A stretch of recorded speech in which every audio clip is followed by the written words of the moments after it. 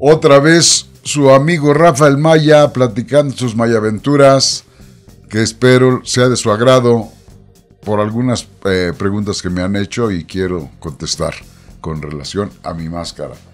Eh, antes que nada, como siempre, mi agradecimiento a todos aquellos suscriptores y a todos aquellos eh, que me ponen me gusta, que comparten con su amigo Rafael Maya y sobre todo los amigos del Super Chat que están al pendiente de su servidor. Muchísimas gracias, bien agradecido con todos ustedes. Y ahora paso a lo siguiente, miren, me han estado preguntando y de mucho tiempo atrás, y ahora con estos videos más todavía, ¿qué, qué significa el significado o el diseño de la máscara de su servidor? Y quiero decirles que ya les he platicado, cuando yo iba a hacer mi debut, no tenía nombre de lucha, pero también les he platicado que jugué fútbol con unos equipos que fundó un señor de apellido Maya, y eh, de ahí pues vino a mi mente en ese momento decir Maya Azteca, que mi papá le agregó lo de Azteca. Y de ahí surgió esa, esa, idea. Yo les he comentado que cuando fui a Deportes Martínez, que estaba el papá de Víctor ahorita, el señor Antonio, de los primeros mascareros que hubo aquí en la Ciudad de México, eh, le pedí de urgencia una máscara para debutar el día domingo con color guinda, eh, con blanco porque eran los equipos de fútbol de mi padre, que era la combinación con la que se jugaba fútbol. Y me dijo, no, pues no se la puedo tener tan rápido, pero tengo por ahí una que me dejaron en, eh, hace pues, como un año y nunca volvieron a recogerla, no la tengo terminada, está hecha a la mitad y coincide con los colores que usted quiere. Entonces la sacó, me la midió, yo desconocía que medían de aquí al oído, etcétera. Y le dije, está bien porque ese color es el que yo necesito.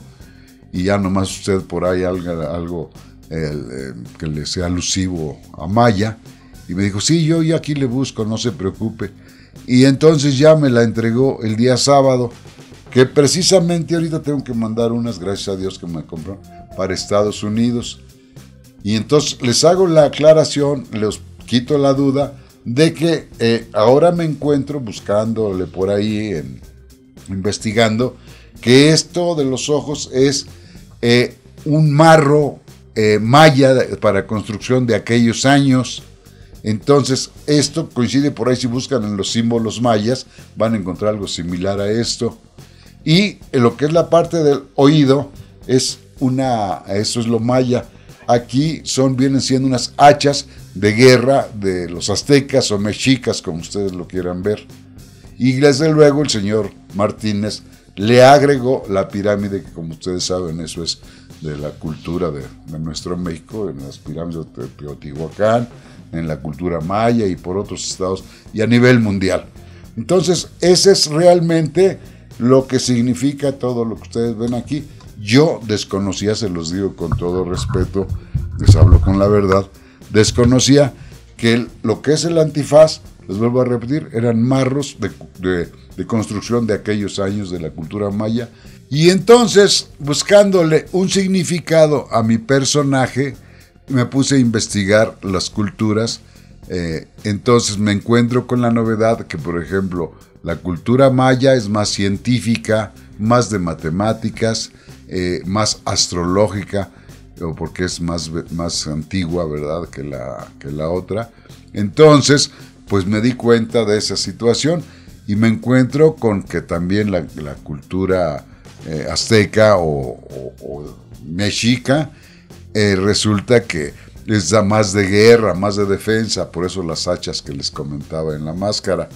Entonces hice la fusión de las dos razas, quitando ya el apellido de esta persona, dos culturas muy diferentes, lo que es la cultura maya, como les comentaba, más científica, e inclusive tengo entendido que ahí mismo inventaron el cero, el uso del cero, perdón.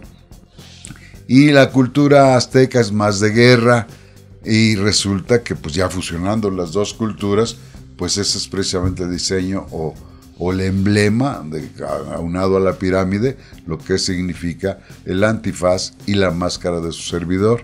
Maya, Azteca, dos, Azteca, dos culturas, que pues se me hizo esa fusión muy, muy agradable. Por esa razón es que quise eh, comentarles lo que es mi personaje de Maya Azteca. Incluso estas máscaras están hechas con el molde de las primeras máscaras que me hizo el señor Antonio H. Martínez, que en paz descanse. Y de ahí mi hijo magnético sacó precisamente el molde para hacer este tipo de máscaras, eh, corte ceja que le llaman. Y la verdad, pues creo que ha valido la pena, porque son ya tipo profesional. Mi hijo magnético, aparte de luchar, pues está diseñando máscaras y parece que hace un buen trabajo porque tiene bastante por ahí con sus compañeros. Creo yo que con esta pequeño videíto que le estoy dando queda complacido toda aquella gente, todas aquellas personas aficionadas que me han preguntado que qué significaba mi nombre de batalla. Por eso ahora el nombre de Rafa el Maya pues se quedó porque yo me llamo Rafael y luché como Maya Azteca.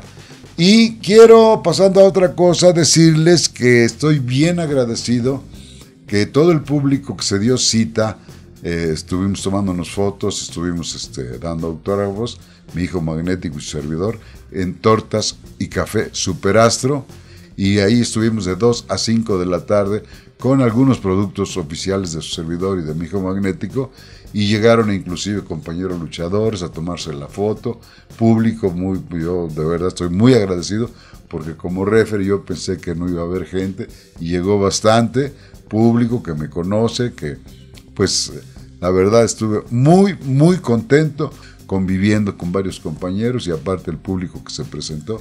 Gracias a Torta Superastro por hacerme esa invitación, a todo el equipo que nos estuvo ahí ayudando y pues su, por medio de su servidor magnético y su servidor, muchísimas gracias a todo ese público que nos hizo favor de acompañarnos en Tortas Superastro.